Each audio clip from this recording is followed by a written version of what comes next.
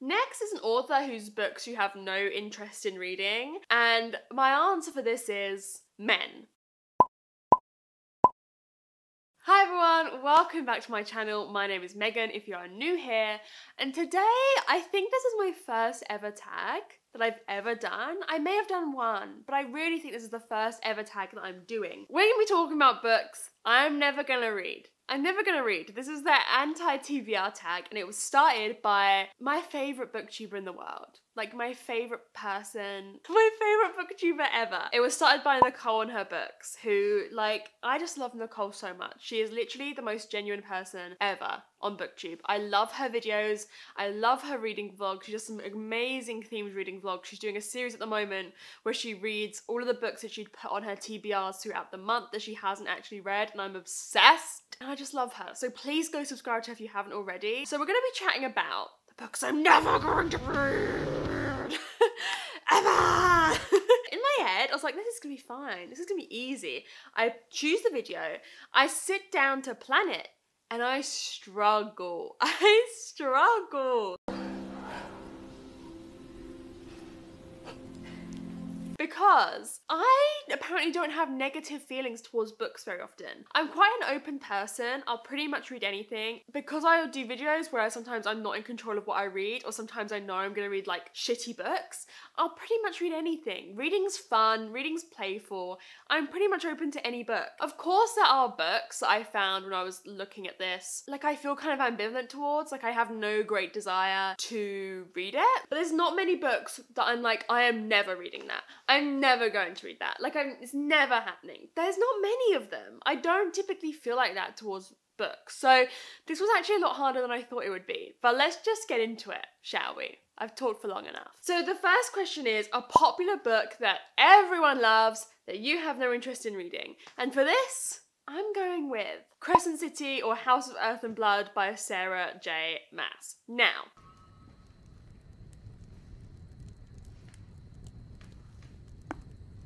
I was not expecting that! I've never read any Sarah J. Maas. And I know she's like Booktube's darling, like everyone loves the gal. I do own A Court of Thorns and Roses. This was very kindly gifted to me by Charlotte like a year ago because I put it on there because I had a plan for a video with this and The Cruel Prince, which I don't know if it's, it's ever gonna happen. Maybe I'll do it next month, maybe I'll never do it. I don't really know. I just think I have a slight interest in reading this series. I've heard so many good things about, is it A Court of Mist and Fury? I'm pretty sure it is. Look at me forgetting all my names. The level of unprofessionalism, far too much. And I'm vaguely interested in Throne of Glass. Like, I'm vaguely interested in it. It could happen one day. I feel like I would actually prefer to read either this series or the Throne of Glass series before I read Crescent City. It just, it's so long. It's so long. And I'm really trying hard to not start series and like never finish them because that's a problem at the moment. So I'm really trying to tackle the series I've already started. I think this will probably be the first book I read by Sarah J. Maas and then I think I'll probably want to read the Throne of Glass series if I enjoy her stuff. So like this is just years and years and years and years and years down the line. House of Earth and Blood, if I'm gonna read it, it'll be in 10 years. Like, it will literally be that long away. It's not gonna happen before then. I know it's not, because I just have too much to read before then. Actually, as you can see, I'm pretty booked and busy this month. Um, don't hit me up at all. As you can see, every fucking... I'm just busy every day. It's insane. That is my first answer. Don't hate me. Next is a classic book or author you don't have interest in reading. And classics are a hard one because I always say I want to read them. Like, I want to read all the Jane Austen books, but like, when does it happen? Never. But an answer for this is Charles Dickens. So, like, I have no interest in reading Hard Times, A Tale of Two Cities. What are his other ones? Oh, yeah, David Copperfield. Like, I ain't vibing. Sounds lame as fuck. I'm not there. If I were to read any of his stuff, it would be like a Christmas Carol or maybe Oliver Twist. Like I did quite like the Oliver Twist film when I was younger, but that was only because it was on the same disc as Annie and I loved Annie. His stuff, like Great Expectations, oh my god, it just sounds so depressing. They're long, they're sad, they're bleak, and I just don't, like, sometimes I just don't want to do that. I do enjoy reading Victorian fiction, like but like modern historical Victorian fiction is kind of my vibe. His books just feel too intimidating to a point I'm scared of. Like it's just it's just never gonna happen. Because I am open to reading everything, it does feel painful to say this. Like I do struggle saying never, but at the same time, it's never gonna be a priority for me. Like it's never gonna be something I get around to. So sorry, Charles Dickens. I know you probably don't care that I'm never gonna read your stuff, but I'm never gonna read your stuff. Next is an author whose books you have no interest in reading. My answer for this is men. These white men are dangerous. Particularly fantasy male authors like Robert Jordan, Jim Butcher, even George R. R. Martin. Like, I don't want to read that. I, I don't. I realised when I did my favourite fantasy books of all time video, all of my favourite fantasy is written by women. I don't really vibe with fantasy written by men. I don't know why, but these books, like Robert Jordan's books, you know, Wheel of Time, like it's very rare I like a fantasy book written by a man. And I think often in these books, this is like a very broad stroke. Like I'm not actually accusing any of the authors I've mentioned of this, but I think these books are often sexist in their portrayal of women. I think women are often not important. And I just think, okay, this may, people might get angry at this, but I think that female authors of fantasy just create worlds that I prefer. The worlds feel more magical to me. Does that make sense? Like, male fantasy often feels very brutal and harsh and like overwhelming, whereas female fantasy authors I've read, it feels like whimsical and magical and like full of opportunity and like even when there's often a lot of difficulties, there's something magical in the dark magic and like the dark fantasy. I just I just like women. Women. So I have no interest in reading like these classical acclaimed authors of fantasy that are men. Like I just don't. It's not gonna happen. So the next question is kind of similar to that, but it's a problematic author you have no interest in reading. And like my answer is any of them. I'm not interested in reading any problematic authors really. It shocked me, right? I don't know how accurate this is, but I went on a list on Goodreads that said like most read books of 2020, like 2020 releases that have been read the most, and American Dirt was third. And I think this is like an automatically generated list through statistics. And like, why are you all reading that? Like, why? I know it's not booktube people. Don't. Like, don't. Like, don't. Like, don't. Don't, don't, don't, don't, don't, don't, don't. I think that's so disturbing. That's like one of the most read books of this year. American Dirt can suck it. It was therapeutic for me. I don't regret it. There's so many better authors out there, and authors we need to be uplifting more, like POC authors, trans authors, non binary authors, gay authors. Like, there's so many people out there who are not problematic who we need to be uplifting more than people who have been accused of being problematic. So, my answer is all of them any problematic author, I ain't interested. Next is an author you have read from a couple of times and have decided just they're not for you. I have a few answers for this. Number one is John Green. Now, this comes with a caveat. If John Green were to write an adult book or a new adult book, I'd read the shit out of it. I would read the shit out of that. Does that sound like something you want? It is. Well, let me tell you, you'll never get it. I would love a John Green adult book. I would like oh my god, that is my dream. That is like my dream. So if that were to happen, oh my god, yeah. But I don't think I'm gonna be reading any more of his YA. I read them all, like I read all of his books when I was younger. Even then, I didn't love all of them. I liked some of them, but a lot of them I just thought were boring. I loved The Fault in Our Stars, and like I genuinely will stand by this day. I think The Fault in Our Stars is well written. Like I think it's good.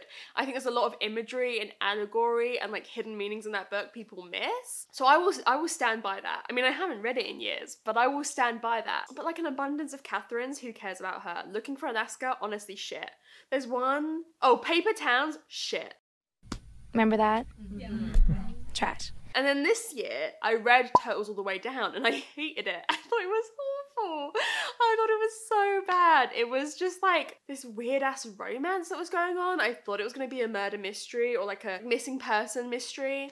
And I was like vibing with the idea of that. And then it just wasn't that. It was just like a romance and like a friendship thing. But like the characters weren't even fleshed out. It was bad. But I think John Green can write. Like I think he can really write. So if he wrote an adult, I'd be there first in line. But I don't think he will do that. I don't think, I think he's scared. I think he's scared.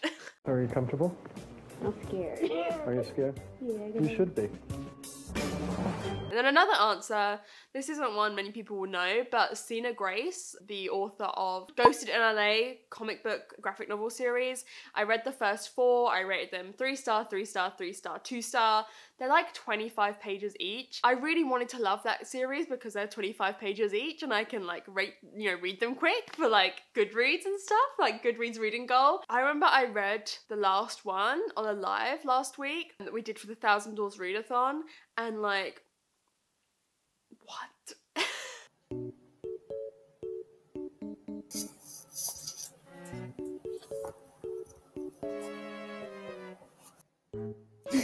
What face did you just make, Megan? I missed it. I think I was very confused. I was like, well, what even happened? Like, I, you know, when you read something and you're like, I didn't understand a single word of that, and there's images, like, there's pic, this is pictures we're talking about here, and I didn't understand what was happening with the pictures. How is that possible? So I don't think I'm going to be reading any more of the Ghosted in LA series, sadly. I'm very sad about it. Now, the next question I actually have no answer for. So the next question is a genre you have no interest in or have tried and couldn't get into. I'll try anything. Like, I read any genre. There's not really a genre that I'm like, I ain't reading that. I've got into romance a bit more this year with Jack Harbaugh stuff.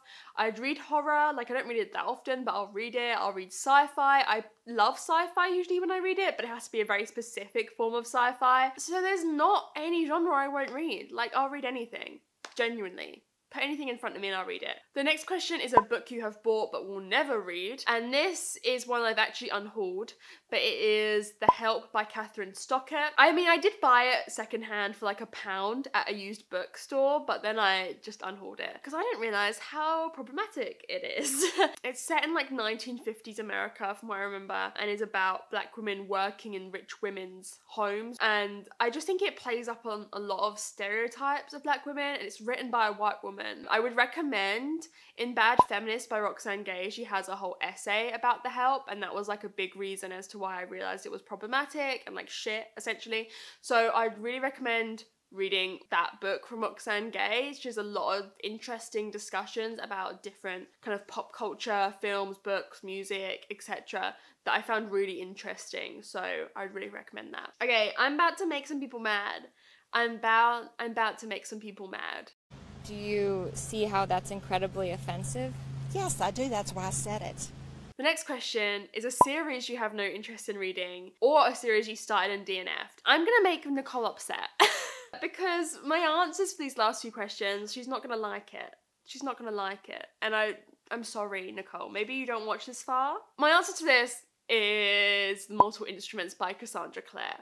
I'm sorry that my behaviour has upset people, and I've never intentionally um, set out to upset anyone. I have no interest in reading this. I've spoken about this before, but in secondary school, we had like an hour a week where we had to go into the library and read. And I would just like pick up books. Like, I would just like pick up books and DNF them. I don't DNF now, but because it was a library book, I would just try something out. If I didn't like it, put it down. I started City of Bones. And I thought, what dog, dog shit is this? Not at the time knowing how popular Cassandra Clare is. I was like, this is awful. Like 11 year old me, the book critic, was like, this is not it. So I DNF'd it. Then when I came back onto booktube and reading and books years later, I was like, oh, everyone else likes this. Now maybe if you scrape that tongue of yours and get that shit residue off of there, then maybe your taste buds would be alive and they could taste what's good and what's not for real. And like part of me is vaguely interested in reading some of her newer stuff. Like I'm vaguely interested in reading the Infernal Devices. I feel like I could like that. I don't know, Cassandra Clare has been accused of some kind of whack stuff. And that line I always see from the Mortal Instruments about like, you're my sister, I wanna protect you from the guys who wanna do exactly what I wanna do to you. Like, what are we doing there? Like, why is that a line in one of the most popular young adult books on existence? Why are we all like, I mean, I know we're not all okay with it, but why have we, why did we allow this to happen? like, what? So, I don't think I'll be reading this ever. Sorry about it. And then the last is a new release which you have no interest in reading. And I actually really struggled with this. New releases, I'm like, I can't read anything. But I have gone with, and this is like the fourth in a series, like it doesn't really count, but I have no interest in reading this series for years and years to come. And I'm saying Rhythm of War by Brandon Sanderson. And Nicole hates it whenever I talk about Brandon Sanderson. And I'm sorry. Like, I'm really sorry. Sorry. At least say it like you mean it. I will read some more Brandon Sanderson one day. Like his most popular stuff, I'll give it a go. But I didn't like Skyward. And I know it's very different from a lot of his other stuff, but I didn't enjoy this. So I don't think I'll be getting to the Stormlight archives or whatever it's called. Again, I won't be getting to that for like 10 years. So I have no qualms about saying I ain't reading Rhythm of War for like 20 years. it's just not gonna happen. I'm sorry, Nicole, don't hate me. I probably will read some more Brandon Sanderson in the future. I'm interested in like watching a lot of his writing tips and writing lectures that he gives. I think he is a great writer because a lot of people love him, but like Rhythm of War, I, that doesn't have to be on my radar for another 15 years. Like, I don't even have to think about it for another 15 years because I just won't get around to it. It won't happen. So that is the end of the video. I hope you enjoyed hearing about the books I ain't ever gonna read or probably won't ever read or really have no interest in reading. Let me know what some of your answers are for some of these questions down below. And thank you so much for watching. I will see you very, very soon. Bye!